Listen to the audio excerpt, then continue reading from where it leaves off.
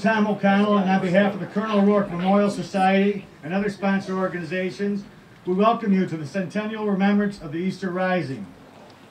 First, I'd like to uh, thank the Greece American Legion Post 468 for being a great honor guard for today's event. So, wherever they are, give them a hand, please.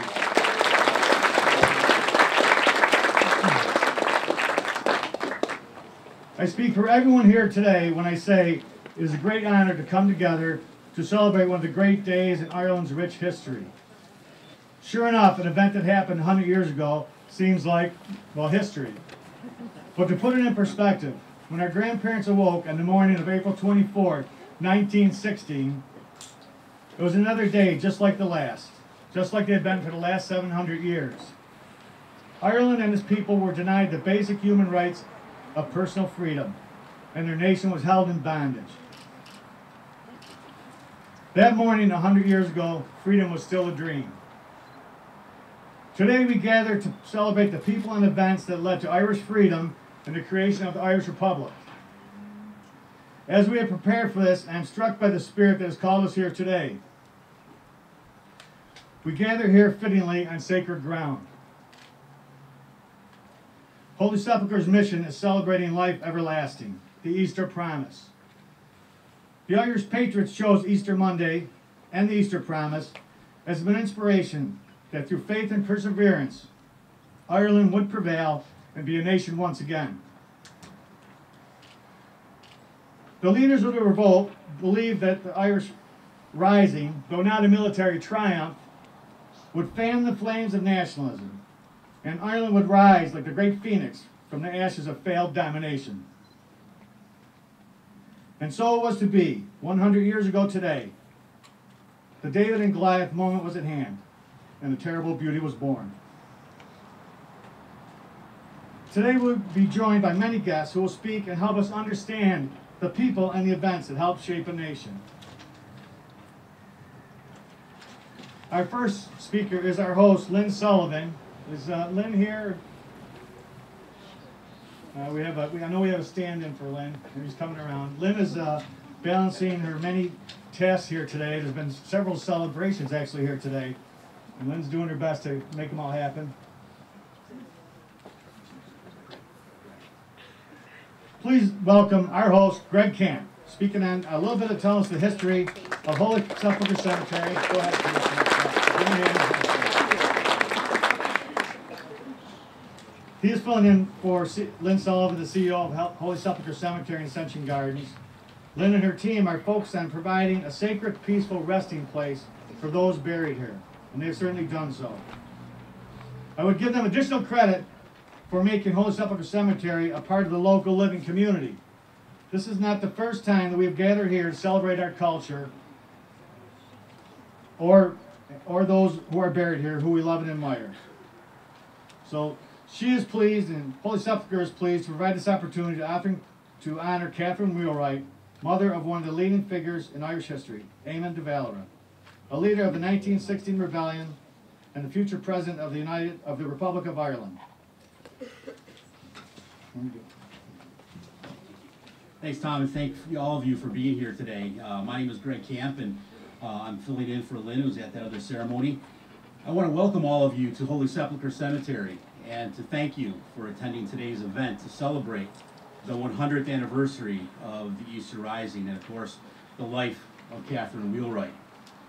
Holy Sepulchre, for those of you who do not know, was founded in 1871 by the very first bishop of the Catholic Diocese of Rochester, Bernard J. McQuaid, who was actually the son of Irish immigrants. Bishop McQuaid's vision was to create a garden-like cemetery that would celebrate the lives of loved ones. And of course, it needs to be in a peaceful, prayerful, and reflective environment.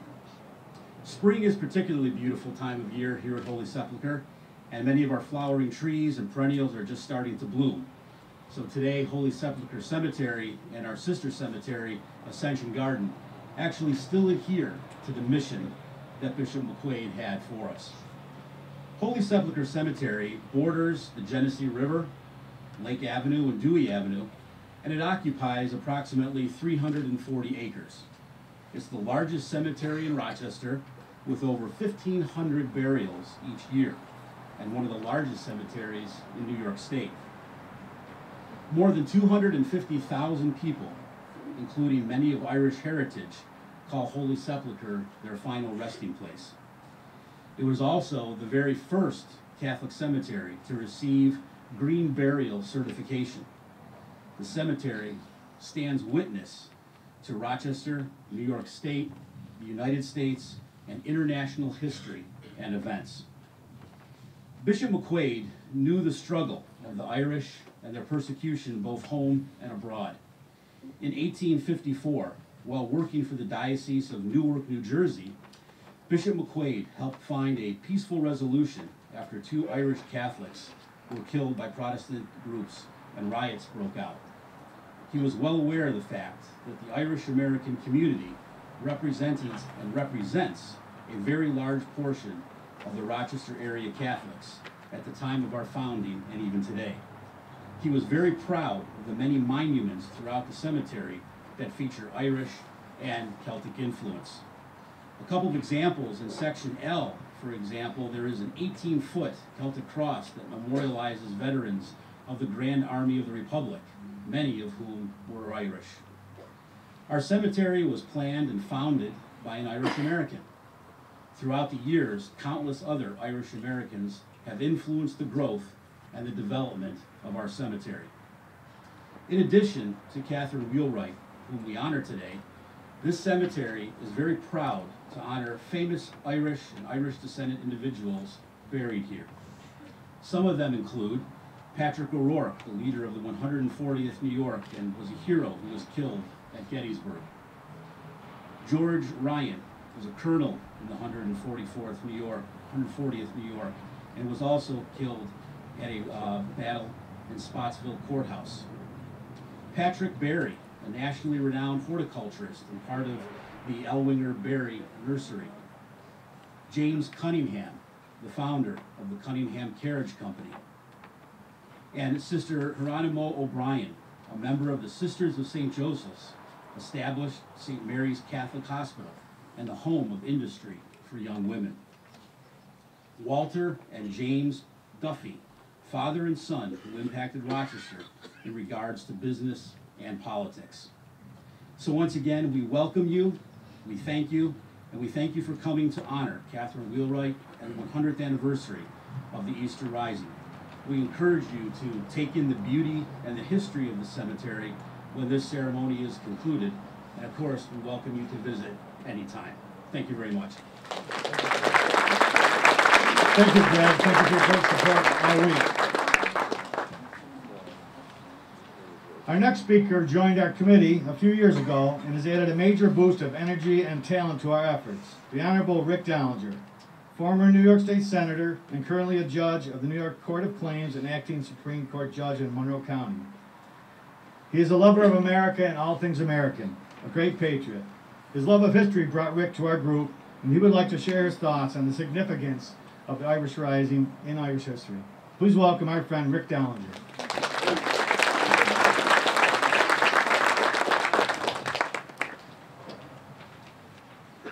Today, in a cemetery 3,200 miles from Dublin, we honor the mother of one of Ireland's heroes. We celebrate a family and their love, a mother and her son.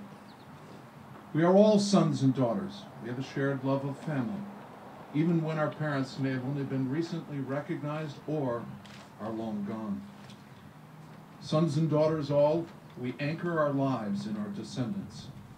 As Irish men and women, it is altogether fitting and proper that today we honor Catherine Wheelwright and her son, Eamon de Valera. But on this hallowed ground, on this springtime, with the new birth of life, we stand among crosses and tombstones, and we pause to mourn the loss of life. Sixteen men were executed a hundred years ago because they believed in the concept of freedom, liberty, and the ability to govern themselves. But these men, celebrated in song and poetry, were not the only casualties in Dublin a century ago. Other men who picked up weapons and fought for their freedom died in the uprising. Young men, some in their early teens, died either on the streets or the barricades. Englishmen too died on that fateful week, and they were all sons of mothers and fathers. Thousands of Irish men and women, sons and daughters all, of all faiths and all backgrounds, have died in the intervening century in the struggles on the island. As Americans, we stand here today knowing that we fought for our freedom from the tyranny of a distant monarch at the birth of our nation, and fought again nearly a century later, as Patrick O'Rourke did in our great Civil War, to be freed from that ancient curse that denied freedom to our brothers and sisters solely because of their race. Our history teaches us that there are times and places when the human spirit cannot be shackled under the shadow of another's oppression. In the face of such forces, rebellion, even revolution and force, may be the only recourse to attain a more just future. But that same history also teaches us that the grim toll of such fights and the attendant violence, especially now in an era of unimaginable weapons of death and destruction, violence can erode our concepts of humanity, engender bitter enmities, hatred, and anguish that persist, persist over generations, and weaken our collective faith that we can all live together as God intended. As Irish men and women, we have seen the terrible toll extracted in our homeland over the last century and recognize that violence, which too easily can displace understanding and compassion, is a threat to everyone, everywhere. Today, a century later, after Irish patriots decided to risk their lives, we, as part of the Irish family, must be dedicated to the same principles for which they fought and for principles that we, as Americans, have forever held sacrosanct and self evident that all men and women are created equal and that they are endowed by their Creator with certain inalienable rights life, liberty, and the pursuit of happiness. The Irish men and women we celebrate today were chasing that elusive dream for themselves and their families. Our quest in 1776 became their quest in 1916. Our challenge today, as their heirs, is to not only remember their names and their actions today, but to rededicate ourselves to the many tasks before us and pray and work for a day when all men and women, having found what President Lincoln called a new birth of freedom, may live in peace on the island which we and our ancestors, sons and daughters of every faith, call home.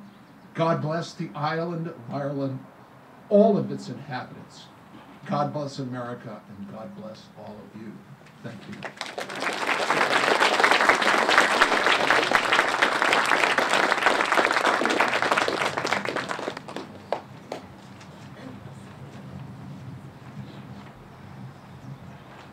Next speaker is Patricia Carey, Pat Carey.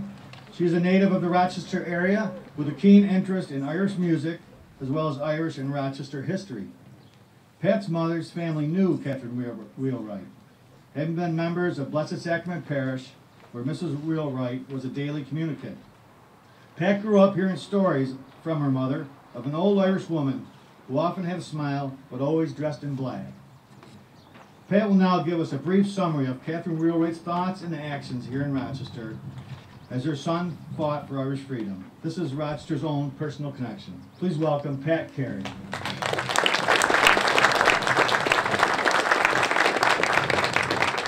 Thank you. Uh, Dia dhuit, good day. Rochester has a unique place in Irish history owing to the fact that it was the home of Catherine Wheelwright for the last 40-some years of her life. She was the mother of Irish statesman Eamon de Valera.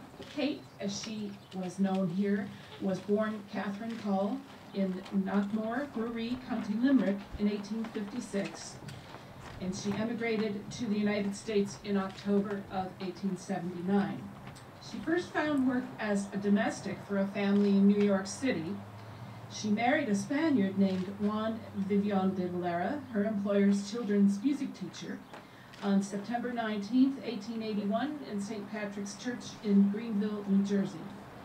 On October 14, 1882, at Nursery and Child's Hospital in New York City, she gave birth to her son, George Edward de Valera, then called Eddie and later known as Eamon. Vivion was advised to head west for to improve his health. He did so, but a year later, in 1885, Vivion died.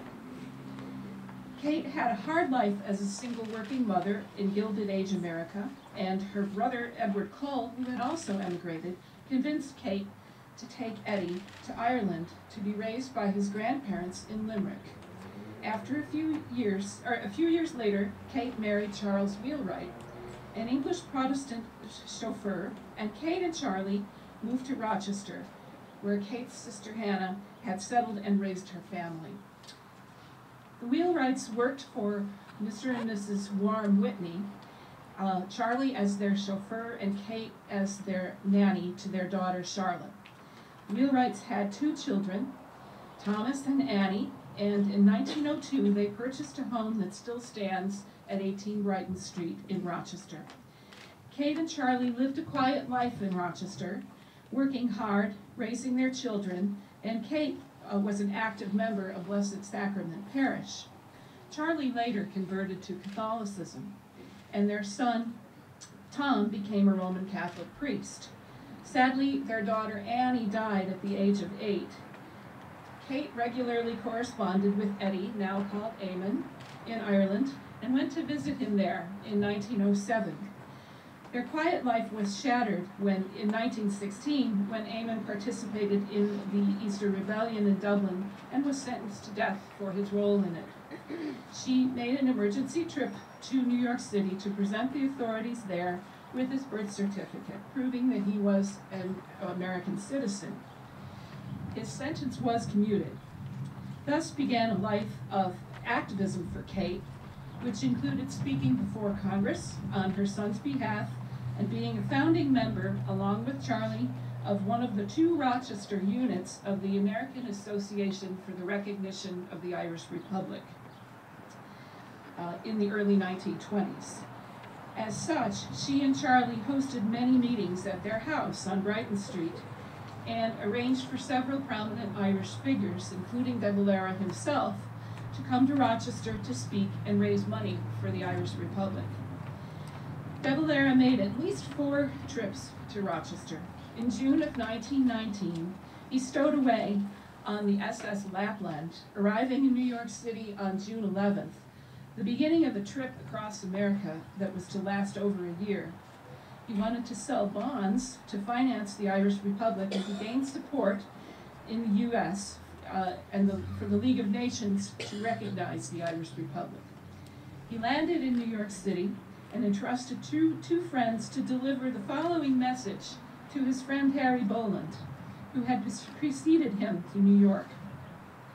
Rather unexpected, this We'll tell you an idea when we meet. I am anxious to travel to Rochester tonight. Hope it can be arranged. I want to see you before I meet anybody. I learned a number of things since you left, dealing with the matter you came to investigate. If you are watched, better not come to see me, but travel to Rochester tomorrow or as soon as you can. Eamon de Valera went with Harry Boland to Rochester and spent a few quiet days there at his mother and stepfather's home. Their visit was secret and was neither confirmed nor denied by his mother when she was visited by a Democrat and Chronicle reporter a few weeks later. Eamon de Valera's American travels allowed him to spend Christmas with his family in Rochester that year, and he spoke in Rochester while on a fundraising mission in 1920. Charlie Wheelwright died in 1927 when Eamon was visiting Philadelphia. He attended Charlie's funeral at Blessed Sacrament Church. It's possible that he also attended the blessing of the grave here at Holy Sepulchre. We do not know this. Kate died in 1932, as Eamon was in Ireland at the time and facing uh, an interesting year. He was not able to attend his mother's funeral. As far as we know, this is the first time that a direct descendant of Kate Wheelwright, other than her son, Thomas, has visited her grave. And we are very honored to have her great-grandson, Eamon Ó Cuív, and his wife, Anya, join us today to pay respects to this unassuming yet remarkable woman.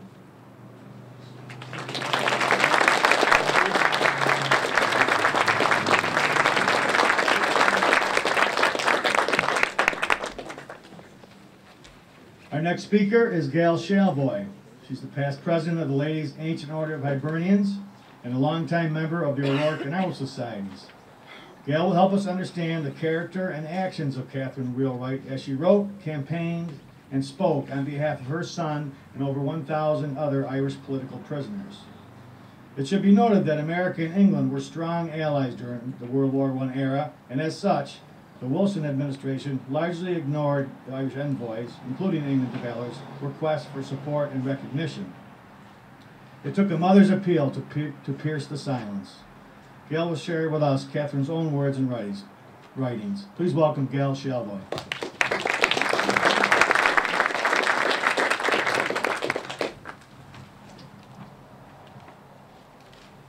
My friends, I want to thank you for the love and the sympathy you have shown for my son. Your sense of justice is worthy of American men and women. I came to the Capitol as an American mother to ask our government to secure my son's release from prison. I know you have the powers to secure my son's release from prison. I know they have the power to free him, as they did last year for the Russian Archbishop Cieplak.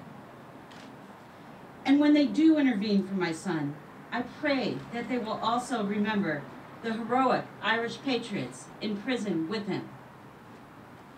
Do you realize that while we talk here tonight, over a thousand brave Irishmen, as well as my own son, are lying in miserable cells in British prisons in Ireland and England? They, like the poor dear boys outlawed on the hills, are there because they loved Erin and scorned to sell it. And they have been held prisoner for a year or more without charge and without trial. They have been called rebels against an Irish government. But the only government the Irish people made in our day is the Irish Republic. For over 80% of them voted in 1918. And to that government, my son and his party have been faithful. For the Irish people have never voted to disestablish it, so it still lives.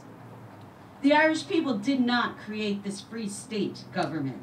It is a British colonial government created by an English king and his government.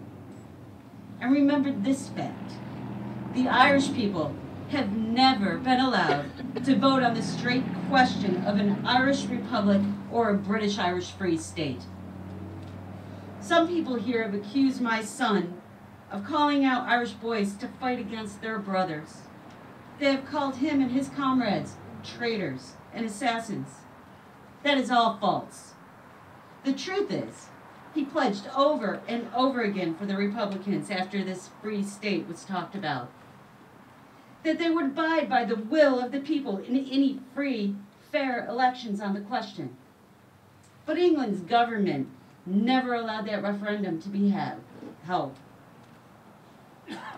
My son warned Griffith and Collins that if this justice was denied the people, there would certainly be a civil war.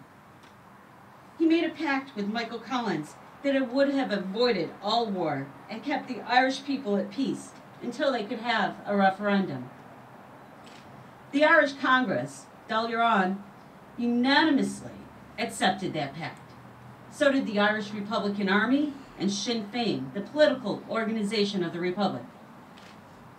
But Collins was immediately ordered to England. And when he came back a few days later, he said he would not keep that pact. But how could one man break a pact that a whole Congress affirmed. And the man that was forced to say what Collins did then, acting on foreign orders from Churchill and Lloyd George, was he the chief of the Free State? No. I say it was and is a slave state. That civil war, civil war in Ireland was forced on the Republicans. They told you here it was a new war between Irishmen themselves. But I tell you, it was only the old war in a new shape, with black and tans and ex-British soldiers playing a big part in that Free State Army. For it was about this time that England demobilized the old Irish regiments in her army and sent them on to Ireland, poor and without work. All ready to recruit them in the Free State Army, these men. Some of them Irish ones, most of them British. It was at the same time, you know, that England shipped tens of thousands of her soldiers from the south of Ireland to the Belfast zone. And then she told the American people that she had cleared out of Ireland. But we are not altogether asleep here in America. We can still make four out of two and two. They tell you my son brought on the Civil War. The truth is, even after London obliged the Free State leaders to attack the old comrades in the four courts, my son and the Republicans were willing to dump their arms. They told the American citizen working in Ireland for peace that summer that they would be glad to stop their fighting, which was only a defense of the Republic, if a free election was promptly given on the question of the treaty. With a new Irish registry, and with England withdrawing the threat of war as an alternative. Father Cahill of Chicago was the American acting with the Republicans with, along with Archbishop Hardy for the Free State. But the Free State would not listen to peace on that basis. For, believe me in this, London did not want them to make peace with the Republicans on any other ground but complete surrender. No, Eamon de Valera did not bring on that war, but he did end it. As soon as he conduced the younger men, yes, and the women, to stop their militant defense of the Republic and begin again the political campaign he initiated three months after the treaty. One of the oldest and most revered judges in America has said that in 45 years of public life, I have never known a campaign of slander against any man so malicious, so subtle, and so widespread is that against Eamon de Valera. People who repeat these slanders do not realize they're repeating falsehoods. And they do not know that not only did my son do all in his power to avoid civil war, but he withstood the pressures of Irish Republican army leaders who wanted him to court martial and perhaps execute Collins and Griffiths. That was when they came back from signing the Articles of Agreement that his government, 36 hours before him, had ordered them not to sign. He would not do this, though. You remember that Greece executed all the ministers of state who brought disaster onto that country through the heating of Lloyd George and his friends. My son was more merciful. Some say too merciful. It was Washington who once said, I was misrepresented by the loyalists of my day, but now my enemies do me honor. And the day will come, and that soon, when the enemies of Eamon de Valera and his heroic comrades will do him honor. Last year, our government saved the life of a Russian archbishop by securing his release from prison. Why have we not secured the release of my son, a native of this land? Why? Is the life of a Russian Polish prelate more precious than the life of an Irish leader? He has done no wrong, my son.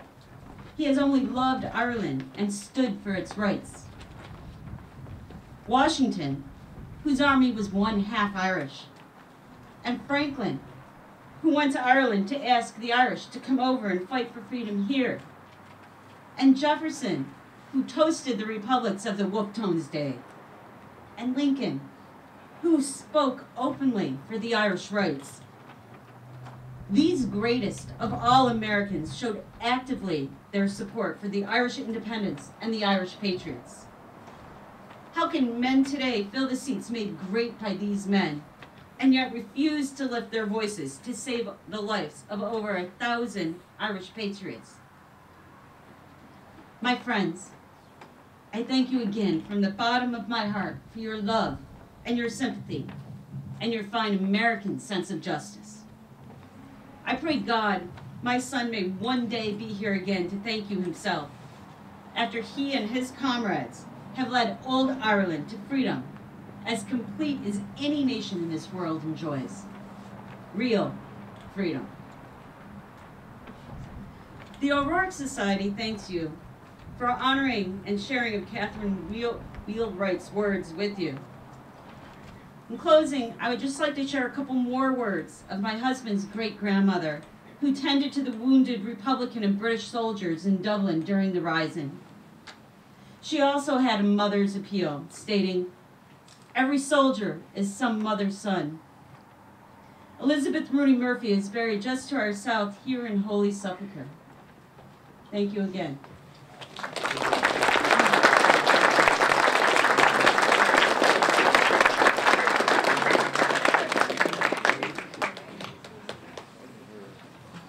I will now be introducing uh, a new committee member and newlywed Bill Herring, who, who plays in a band aptly named 1916. Bill re- just returned, uh, Bill used his uh, graphic arts talent to design our posters and programs for today's event, so well done, lad. Very As I said, Bill just returned from Ireland where he married local debutante Patricia Lloyd. And, uh, I have to say now they're up. I haven't seen them since, so the honeymoon honeymoon's still rolling. I think. Uh, Bill will now lead us in a Bill will now lead us in a song sung for the spirit of a nation. God save Ireland. Bill.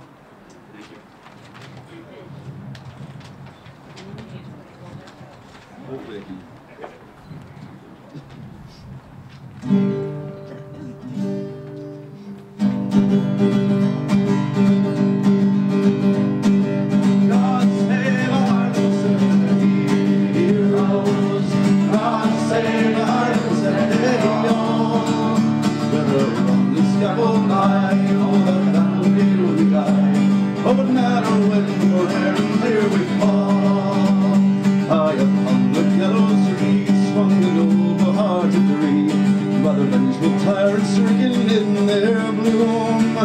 But they met him face to face with the courage of their race, and they went with souls undaunted to their doom.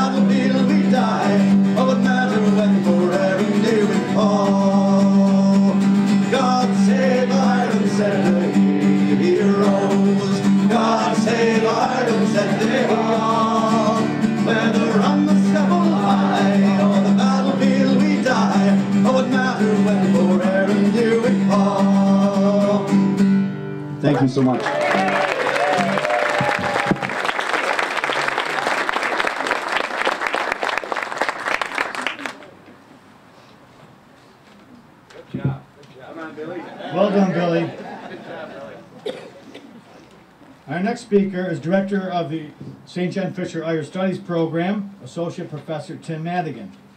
Tim is an enthusiastic member of the O'Rourke Memorial Society and Irish American Cultural Institute. He will blush when I say that sometimes he is the wind beneath our wings, but really he opens doors and makes connections for us that we otherwise would not, would not be able to do. He has his hand personally in bring- bringing many of the components of today's celebration together. Tim has traveled Ireland as part of the Irish Studies program, and he will give us a special oration of W.B. Yeats' famous poem, 1916.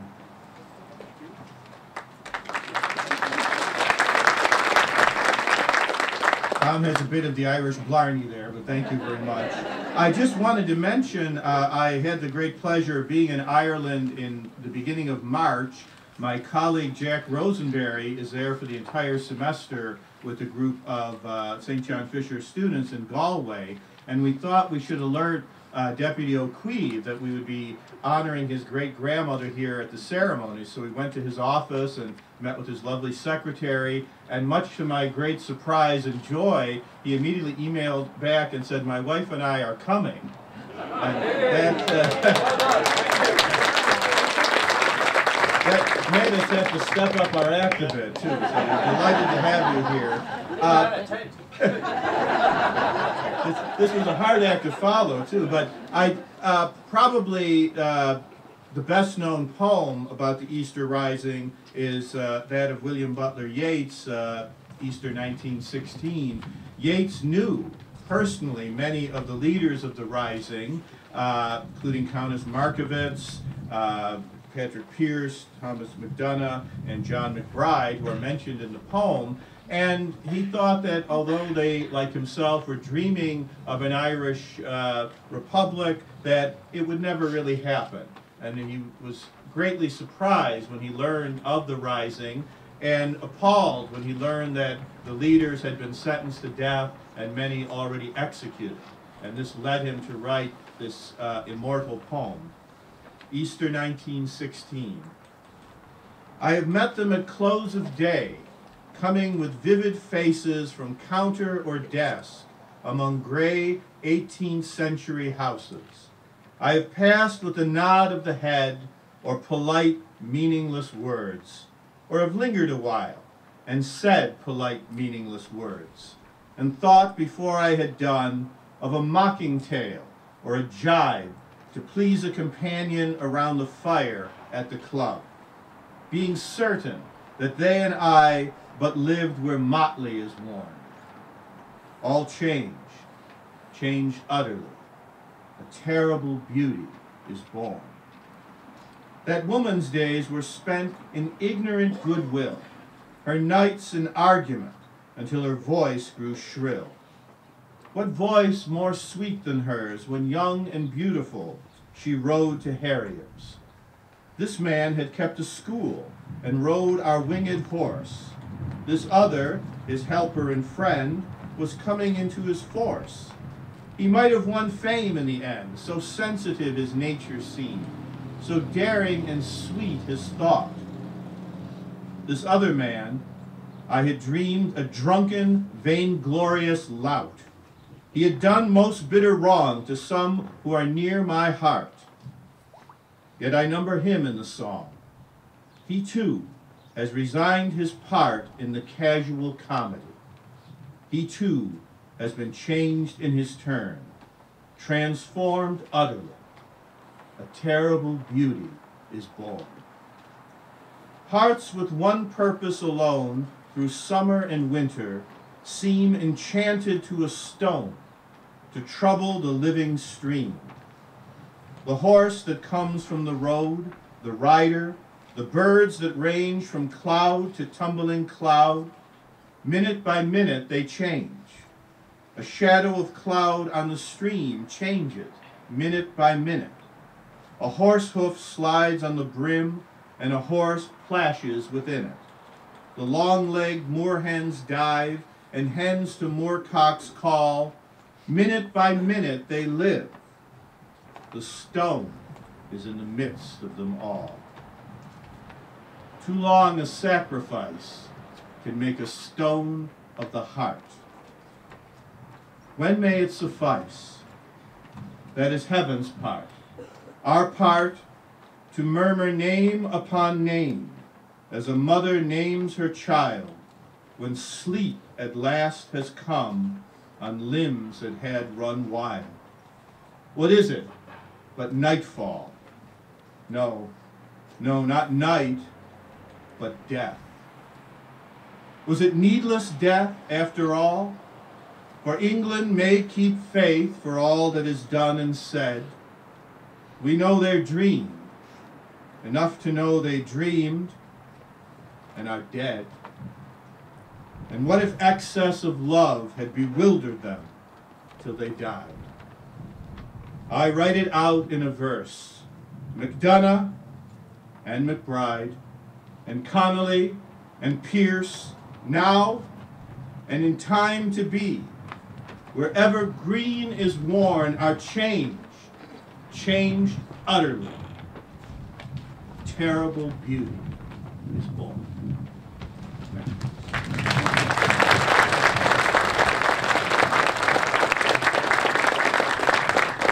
Thank you, Tim. I now call Ben McAtill forward. Ben is born in Dublin, local musician and friend to everyone.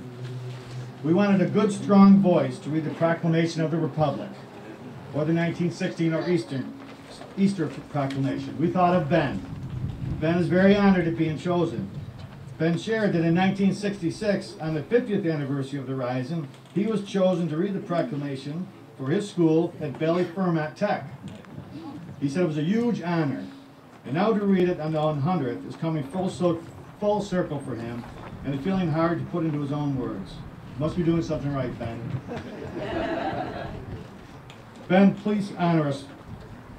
Please honor this event with your reading.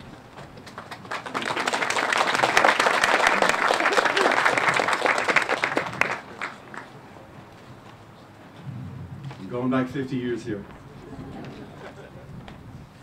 Poblacht na hÉireann, the provisional government of the Irish Republic to the people of Ireland. Irish men and Irish women, in the name of God and of the dead generations from which she receives her old tradition of nationhood. Ireland, through us, summons her children to her flag and strikes for her freedom having organised and trained her manhood through her secret revolutionary organisation, the Irish Republican Brotherhood, and through her open military organisations, the Irish Volunteers and the Irish Citizen Army, having patiently perfected her discipline, having resolutely waited for the right moment to reveal itself. She now seizes that moment and supported by her exiled children in America and by gallant allies in Europe, but relying in the first on her own strength, she strikes in full confidence of victory. We declare the right of the people of Ireland to the ownership of Ireland and to the unfettered control of Irish destinies to be sovereign and indefeasible.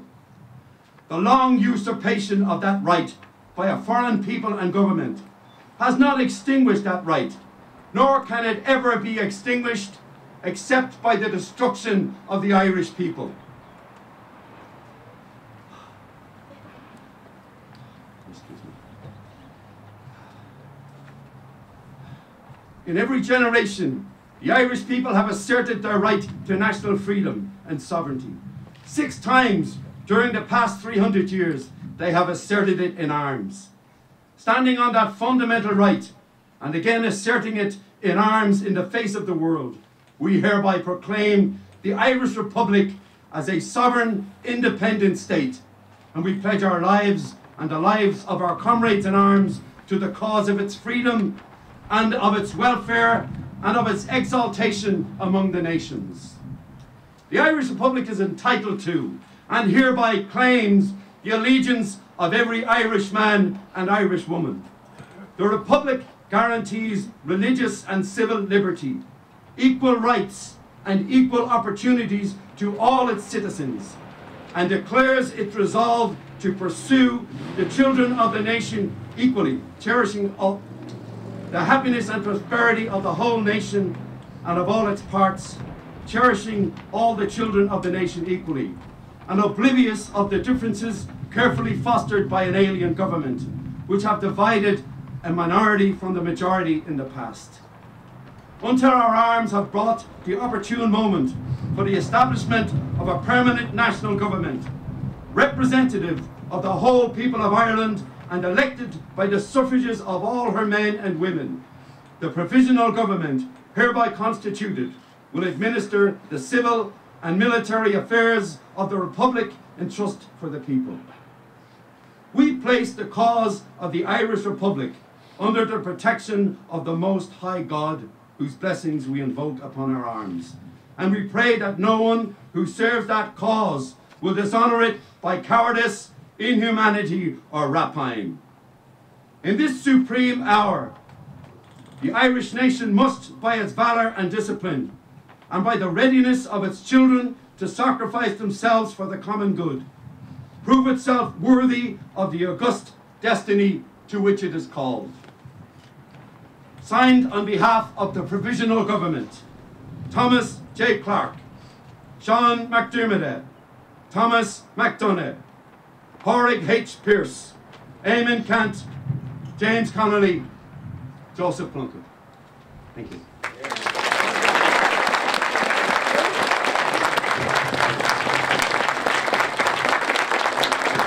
Thank you, Ben.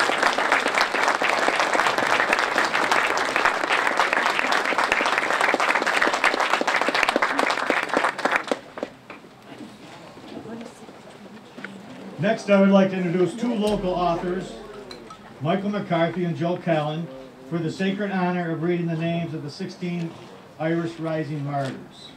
Mike is the current president of the Irish American Cultural Institute. He is a retired Rochester Police Department investigator and retired as director of security at St. John Fisher College.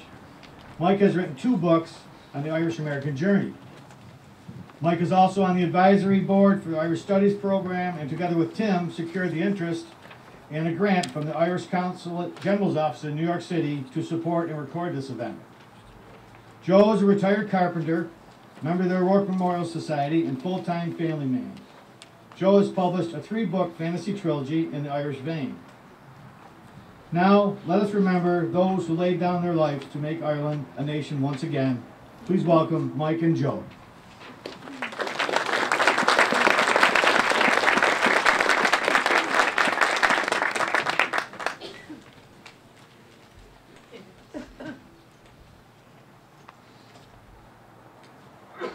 We remember the 16 martyrs of the 1916 Easter Rising.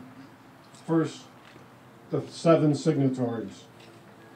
Thomas J. Clarke, born on the island of Wight. He was the first signer of the Proclamation of Independence. He was executed on May 3rd. He was 58 years old.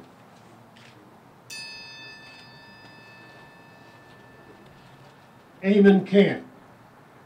He worked as an accountant for the Dublin Corporation, and he was also an accomplished uilleann piper. He had played for Pope Pius X. He was executed on May 8th. He was 34 years old.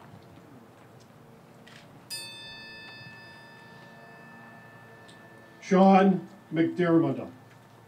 He managed the newspaper called Irish Freedom. He also suffered from polio. He was executed on May 12th at the age of 33.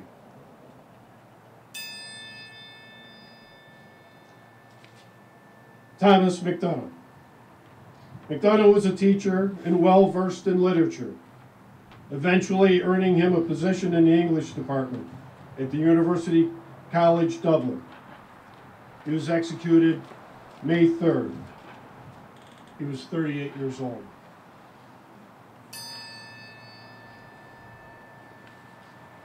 Patrick Pearse. He had a degree in arts and law. His extensive public works were in both Irish and English. He was executed May 3rd. He was 36 years old.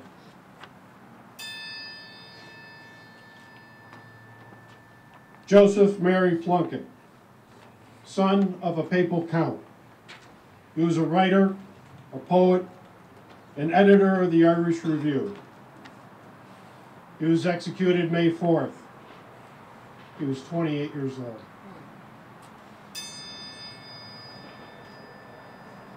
James Connolly, born in Scotland, he had served in the British Army. He was unable to stand during his execution due to wounds he received during the Rising.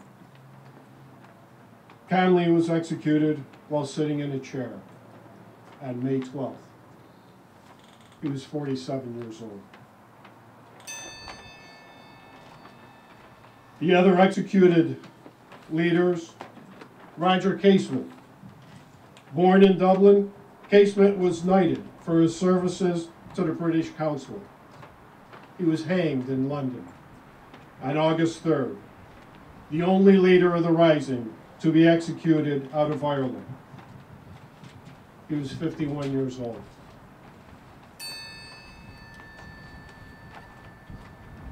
Cornelius Con Colbert. The night before his execution, he said that he was proud to die for such a cause. I will be passing away at the dawning of the day. His execution took place on the morning of May 8th. He was 27 years old.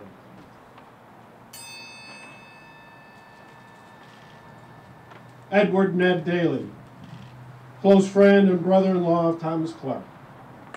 He was executed on May 4th. He was 25 years old. Sean Heuston. He worked at the railway station offices. He was executed on May 8th. He was 25 years old.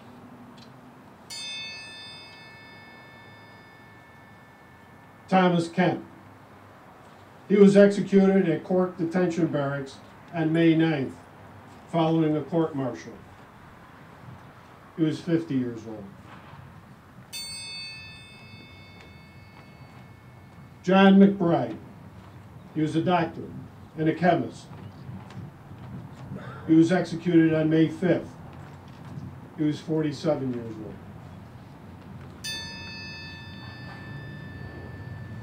Michael Mallin, a silk weaver.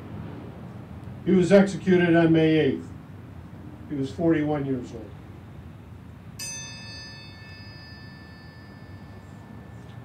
Michael O'Hanrahan. Prior to the Rising, he had published two novels, A Swordsman of the Brigade and When the Norman Came. He was executed May 4th. He was 39 years old.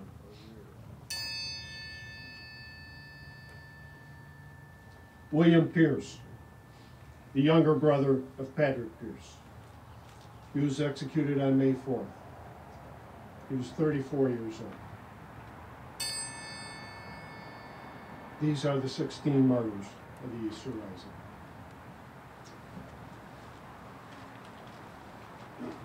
Thank you, Joe.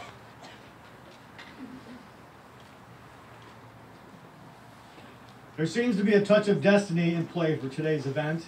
Our next speaker heard about our event through contacts with Pat Carey, Tim, and another St. John Fisher traveling missionary, Jack Rosenberry. Eamon Ó Cuív is a leading member of the Irish Parliament, serving as deputy for County Galway. He has served on many committees, including as Fianna Fáil delegate on the Forum of Peace and Reconciliation, which was established following the Downing Street Declaration of 1993. Eamon is also the grandson of one of the great leaders in Irish history, a brave patriot in the event we celebrate today, and future Taoiseach and President of the Irish Republic, Eamon de Valera, who did so much to help shape a young nation. So we stand here today honoring our connection and the contributions of both his grandfather and his great-grandmother, Catherine Coll Wheelwright. I speak for all of us when I say we're so pleased and honored that you and your wife, Anya, could be part of the centennial celebration. Please welcome Deputy Eamon Ó Cuív.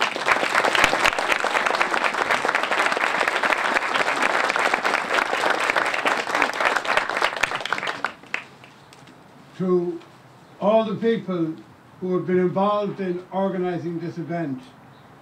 First of all, my thanks and Anya's thanks for what you have done in not only remembering my great grandmother, but also, and more particularly, remembering this very, very special day in our history because it was a hundred years today that the rising of 1916 took place. I'd particularly like to thank Lynn Sullivan for her fantastic hospitality and welcome, Tim Madigan, Tom O'Connell, the chair of the committee, and Pat Carey, who has been doing so much research on my great grandmother. I have to say it's great to meet so many relatives here today that I didn't know about. and uh, that has been a real pleasure coming here to Rochester. Some I had heard about, but I have a lot more cousins than I ever believed. but it's a great day here. But it's also a great day back home. Because we now celebrate a hundred years since the Rising and the fact that we have an independent Irish state.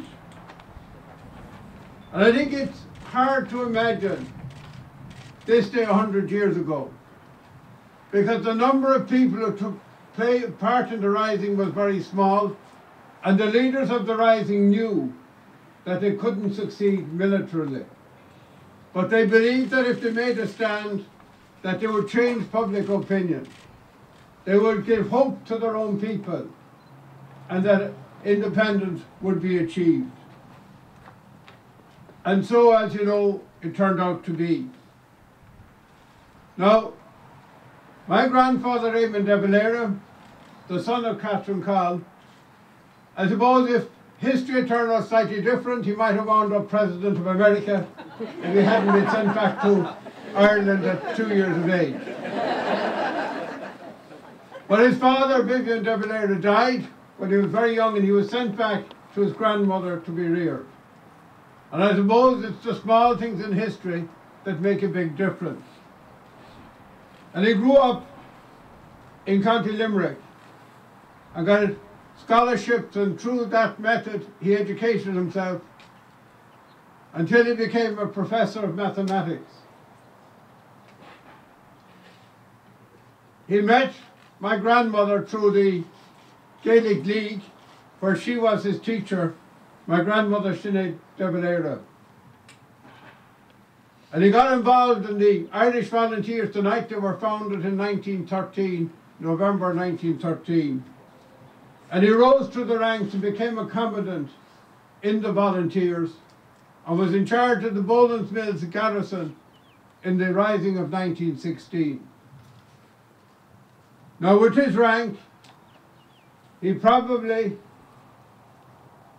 was very lucky not to face the firing squad. There were two contributory factors. One was that he was the last to surrender and he was taken out to Ballsbridge in Dublin before he was transferred to Richmond Barracks. And the second was that a case was made by various people, including his own mother, as has been already said, Catherine Wheelwright, that he was an American citizen. Whatever particular reason, he was condemned to death, as many others were, when they came to review their policy, apparently what happened was they decided to execute Connolly and McDermott because they had signed the proclamation. But they started reviewing all the other cases, and the first name under the line was the name of one Eamon de Valera. And apparently the officer who had been dealing with the court martials was asked by General Maxwell, who is Eamon de Valera? And he said in the immortal words, he said, he's a schoolmaster, he will not cause you any further trouble.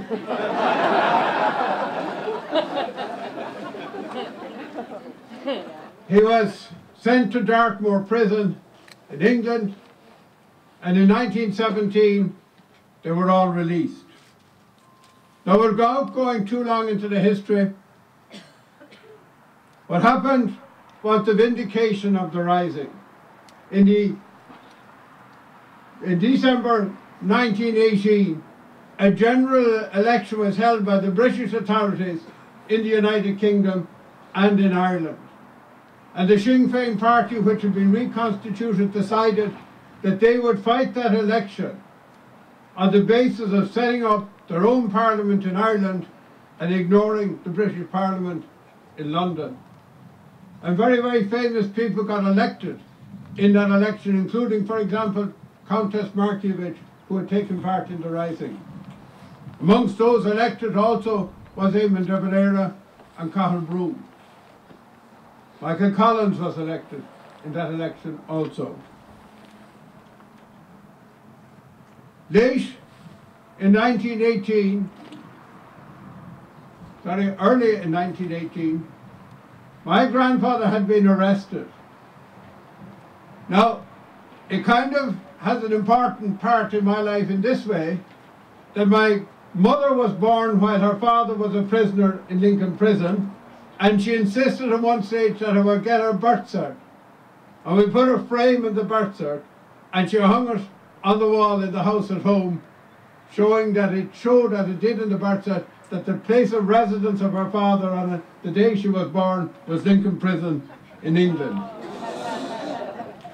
And my brother was very, very proud of that fact. As I said, the election took place in 1918, and on the 21st of January, 1919, Dáil Éireann, an independent parliament, was set up.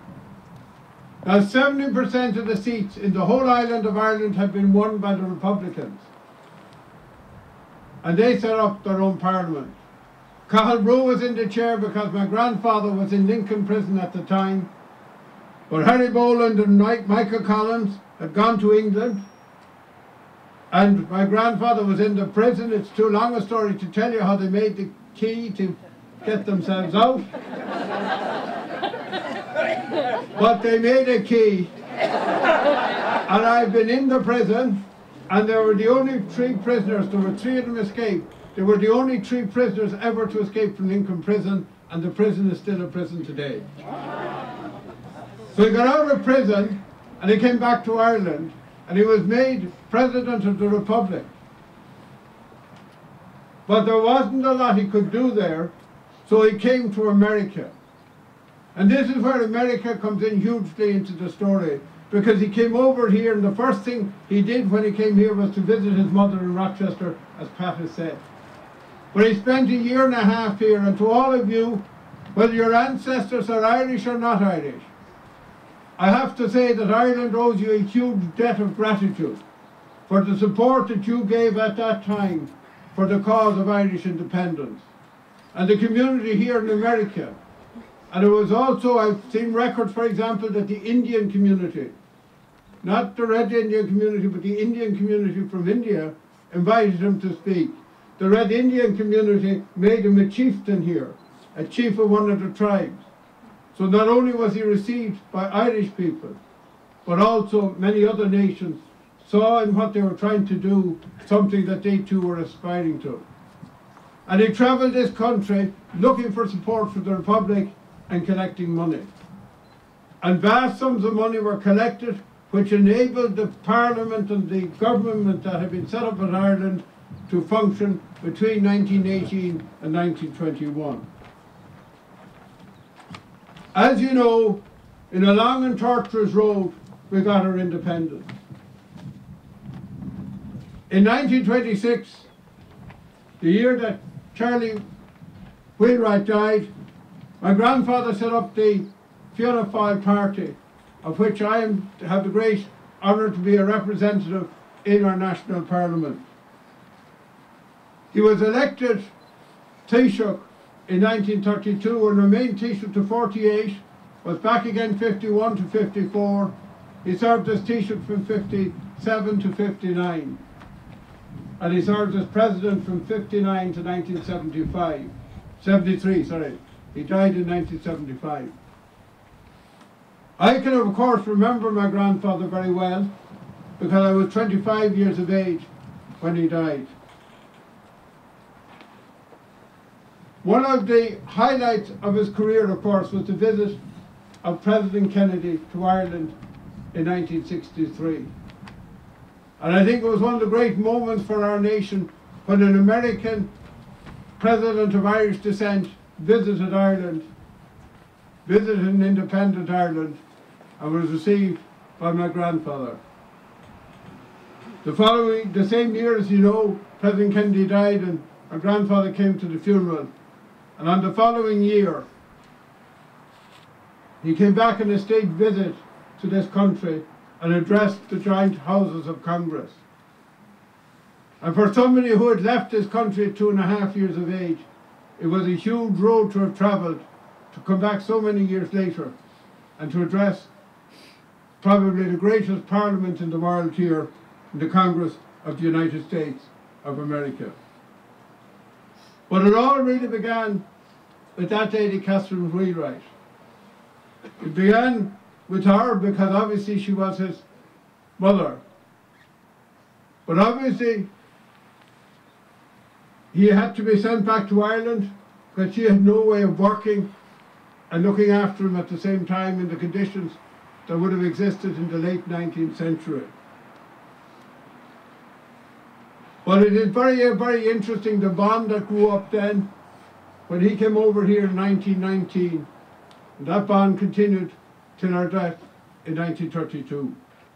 I have to also say that Charles Wheelwright seems to have been a very, very interesting character and that he should not be left out of the equation and the work that he did in the 1919-1924 period in support of uh, his wife and also of what would have been his stepson. Can I also say that I hadn't realised that I came over here the huge role that Catherine or Kate Coll's sister had played in their life, Hannah, and to all of the descendants of the Colls that were over here, can I say we owe you also a great debt. And I believe that when my grandfather came here in 1919, there was nobody at home when they went to the Wheelwright home, and they had to go down to as she would have been to, uh, to Eamon de Valera, to find where they were, and they found her, and everything turned out for the better. so can I finally say, it's an absolutely fantastic moment for me to be back here. Back to my roots. We know that you Americans are all the time going to Ireland looking for your roots. But I have to come to America to find mine.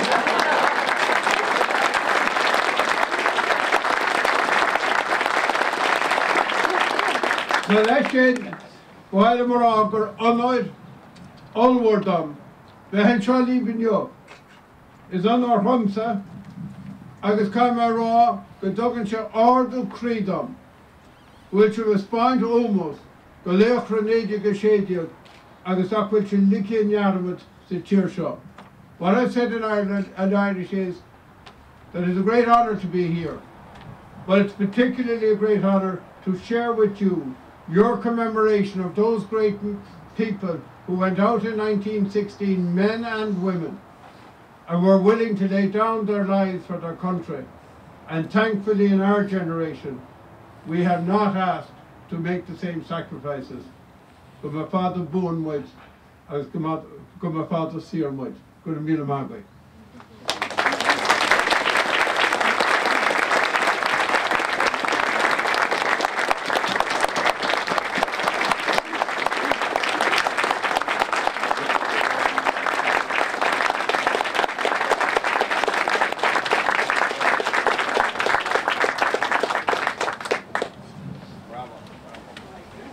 Thank you, Amy. I have to say that also I have to recognize Anya O'Keefe. I met her yesterday and found out that she lived just down the road from all my relatives in Galway and showed them the pictures and she knew them all better than I did. So it was great, a great time. Thank you very much. Next, I'd like to call forward Deputy Eamon Ó Cuív, Anya, and Chris Shelboy for the laying of the wreath at Catherine Wheelwright's grave. Peg Dolan will accompany them with verses of the song Foggy Dew, and this will be followed by a moment of silence.